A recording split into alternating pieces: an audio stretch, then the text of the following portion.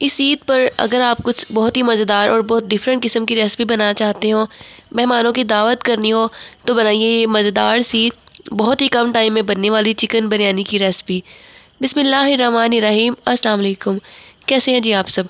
तो मैं हूँ फ़िज़ा और आप देख रहे हैं आपका अपना यूट्यूब चैनल लाजवाब पकवान। लाजवाब पकवान में आज हम बना रहे हैं बहुत ही मज़ेदार, बहुत ही कम टाइम में बनने वाली स्पेशल चिकन बिरयानी की ऐसी रेसिपी कि जब मेहमान जब इसको एक दफ़ा खा लेंगे, यकीन करें, आपसे इसकी रेसिपी पूछ कर जाएँगे कि इतनी मज़ेदार, इतनी डिलीशियस आपने बिरयानी कैसे बनाई है। तो चलिए बिना टाइम को वेस्ट किए इसको बनाना शुरू करते हैं। बिस्मिल्लाह करते हैं। चलें जी बिस्मिल्लाहिर्रहमानिर्रहीम इसके लिए सबसे पहले मैं एक खुले बर्तन में एक कप के करीब लूँगी ऑयल जब भी आप बिरयानी बनाएँ, इसको खुले बर्तन में बनाएँ ताकि हम जो लेयर लगाएँ और जो हम मसाले ऐड करें वो चावलों के एक एक दाने में एब्जॉर्ब हो जाए और बहुत ही मज़ेदार टेस्ट इसका है। अब मैं इसमें ऐड करूँगी ब्लेंड की हुई प्याज। तीन प्याज ली थी, उसको मैंने ब्लेंड कर लिया है। और अब हम इसमें ऐड करूँगी one tablespoon ginger garlic paste जब भी आपने जल्दी बिरयानी बनानी हो तो आप प्याज को फटाफट से ब्लेंड करके ऐड कर सकते हैं। इससे बहुत ही आसानी के साथ, बहुत ही जल्दी बिरयानी बन जाती है। मैं इसमें कुछ स्पाइसेस ऐड करती हूँ जिसमें टू टीस्पून लाल मिर्च पाउडर ऐड किया है वन फोर टीस्पून हल्दी पाउडर दो टेबलस्पून मैं इसमें ऐड करूँगी नमक के। नमक आप अपने जायके मुताबिक डाल सकते हैं। और अब सारे मसालों को मैं मिक्स कर लूँगी। मसाला अच्छे से बन गया ये देखें। क्योंकि हमने इसमें प्याज ब्लेंड की हुई ऐड की थी, इसलिए इसको ज़्यादा पकाने की ज़रूरत नहीं थी, बहुत आसानी के साथ मसाला बन गया। अगर हम इसमें वैसे ही प्याज कटी हुई ऐड करते तो मसाला बनाने में बहुत टाइम लग जाता लेकिन ये एक बहुत ही डिफरेंट तरीके से हम आज बिरयानी की रेसिपी बना रहे हैं। और अब हम इसमें ऐड कर देते हैं वन के जी चिकन चिकन को धोकर अच्छे से साफ़ कर लें और उसको मसाले में ऐड करके इसकी भी अच्छे से बुनाई करेंगे जब तक चिकन घल ना जाए।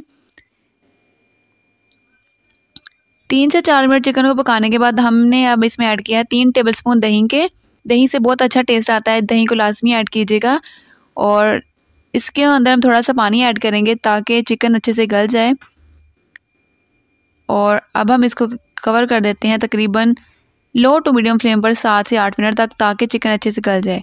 सात से आठ मिनट हो गए हैं, पानी भी तकरीबन ड्राई हो गया है और लास्ट में हम इसमें डालेंगे वन टीस्पून खुश्क धनिया पाउडर और वन टीस्पून गरम मसाला पाउडर हरी मिर्चों को सेंटर से कट लगा के लास्ट में ऐड करेंगे। बहुत ही अच्छा टेस्ट आता है और खुशबू बहुत अच्छी आती है। इसको मैं मिक्स कर लेती हूँ और इसको तकरीबन थोड़ी देर के लिए मैं पका लेती हूँ ताकि जो हरी मिर्ची मैंने इसके अंदर ऐड की हैं, उसका टेस्ट निकल आए। और इसमें अब हम ऐड कर देते हैं दो कटी हुई टमाटर और थोड़ा सा हरा धनिया। बस इसको मिक्स कर लेते हैं और थोड़ा सा पका लेते हैं ताकि इनका कच्चापन दूर हो जाए। अब एक सेपरेट पतीला लेते हैं। उसके अंदर मैं लगाती हूँ चावलों के लिए। चावलों को मैंने पहले बॉयल करके रखा था। एक और इसके ऊपर अब मैं लगाती हूँ चिकन का जो मैंने मसाला बना के रखा था चिकन कढ़ाई, उसके एक लगाते हैं लेयर अच्छे से सारी जगह पर हम लेयर लगा देते हैं। जितनी भी लेयर आप लगाना चाहते हैं, आप लगा लें। चावलों की क्वांटिटी के अकॉर्डिंग अगर आप दो या तीन लेयर लगाना चाहते हैं, आप इजीली लगा सकते हैं, लेकिन हमेशा बिरयानी की जब लेयर लगाएँ, उनको खुले बर्तन में लगाएँ ताकि अच्छे से इनकी मिक्सिंग हो सके। इसके ऊपर मैं गार्निशिंग के लिए थोड़ी बहुत टमाटर ऐड कर दूँगी, जो मेरे पास बची हुई थी। और दो तीन हरी मिर्ची दरमियान से कट लगाकर हम ऐड कर देंगे और थोड़ा सा हरा धनिया। बिल्कुल लास्ट में डालेंगे और फाइनल हम इसके ऊपर लगा देते हैं फ़ूड कलर इसको कवर कर देते हैं और इसको पंद्रह से बीस मिनट तक बिल्कुल लो फ्लेम पर हम नम देंगे। पंद्रह से बीस मिनट हो गए हैं तो माशाल्लाह से चावल हमारे बहुत ही अमेजिंग देख सकते हैं आप कितने खिले खिले हैं। एक एक दाना इसका इतना खिला खिला है और बहुत ही मज़ेदार हर एक दाने में इसका टेस्ट और फ्लेवर बहुत ही अच्छा गया होगा और इसकी खुशबू तो बहुत अमेजिंग आ रही है। बहुत ही जल्द बनने वाली बिरयानी की ये रेसिपी है, लाजमी ट्राई करें। आपको इसकी फ़ाइनल लुक दिखा देती हूँ कि ये कितने कलरफुल और कितने खिले खिले चावल हैं। और इसकी लुक बहुत ही अमेजिंग आ रही है। टेस्ट में ये बहुत ही मज़ेदार होंगे। ट्राई करके ज़रूर देखिएगा। रेसिपी पसंद आई हो चैनल को, ज़रूर सब्सक्राइब करें। वीडियो को लाइक मिलती हूँ। आपके साथ एक और वीडियो के साथ अपना बहुत सारा ख्याल रखिएगा। मुझे भी दुआ में याद रखिएगा। अल्लाह